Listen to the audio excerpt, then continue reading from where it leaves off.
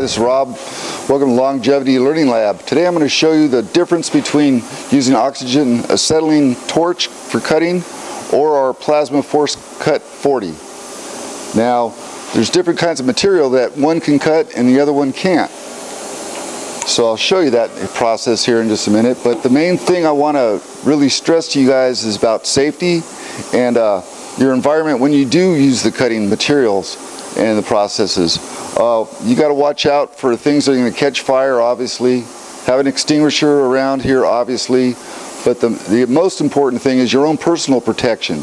Okay? So what you want to do is have your, the right kind of gloves. You know, nice heavy gloves, something that's not going to be too close to your hands when it gets hot. Eye protection, that's the big thing. So you got the right shade of lenses, okay? So this is a regular cutting lens for a pair of glasses. It's a number nine, it's a lighter shade. Then you got your face protection. So you got your clear mask if you want, but then you can also have your darkened mask. And that's better because then if you you have to, reading glasses or whatever, it's just more comfortable. Myself, with our new hoods we got here, with the auto darkening, you've got the settings to where you can have it for grinding, or you can go from 9 to 13 on your shades, and plus you got your face protection. That's what I'm going to use today. But what we're going to be doing is cutting some aluminum, some stainless steel, and some mild steel. And I'll show you how each process will cut that material. And I'll get my stuff on and uh, we'll get right to it. Okay, first off we're going to use our oxygen acetylene torch. Remember you got to keep everything clear around you because the stuff is going to fall. So we'll fire this up right quick.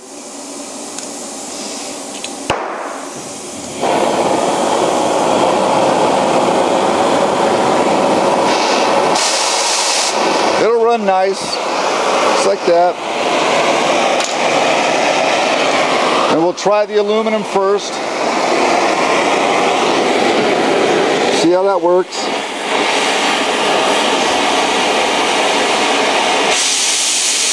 It just blows it away. We don't want to do nothing. Just goes away.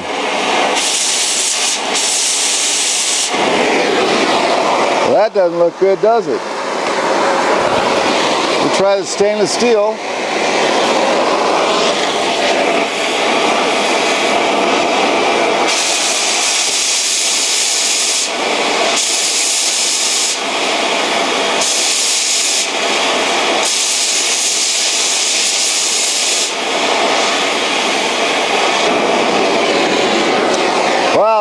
For two, huh? Then we'll try the mild steel.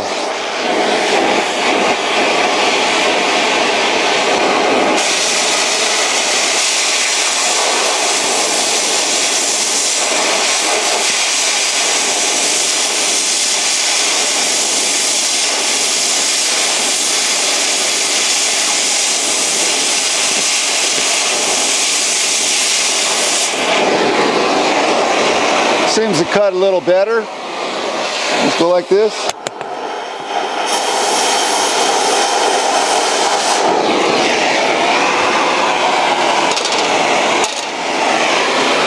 Then you watch where it drops. Let's try the plasma now. Now with the plasma, you don't need the oxygen acetylene, obviously, so there's a cost that you don't have to worry about. And then all you need is just compressed air. And then you just check your, your uh, PSI, your pounds per square inch, and your voltage, and we'll see what this likes to cut.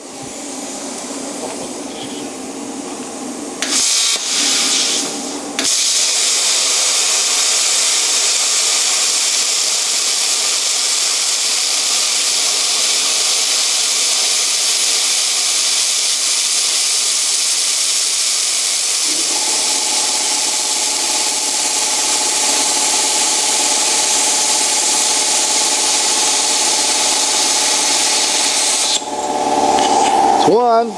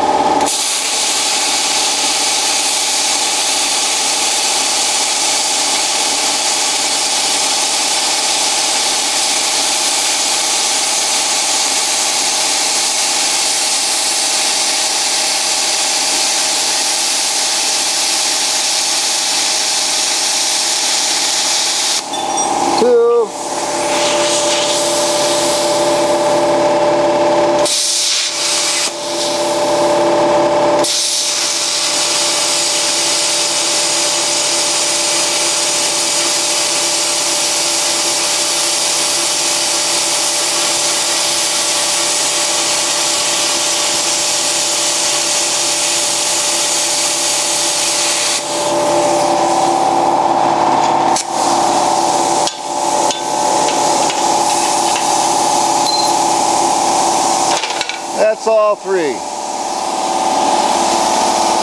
So you can see that the, the oxygen acetylene, doesn't like to cut the aluminum or the stainless. But it'll, it'll cut your mild steel for you. Now the plasma cutter is another story. It'll go this, that, and the other. And uh, for being as light and as small as it is, it's the way I'm going.